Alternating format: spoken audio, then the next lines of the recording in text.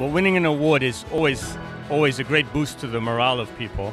Um, we work day in, day out, and it's good to have something occasionally which reminds us of the bigger vision that the company has. The Bata family has been interested in the environment and in the communities that they serve for over a century. Um, they, they started their business building factories, and they always built schools next to those factories. And they've always made sure those factories are among the, the cleanest in their class. So I think we, we have a great history, and it's good to be reminded uh, for the new employees to be reminded of how, how this company operates in the long term.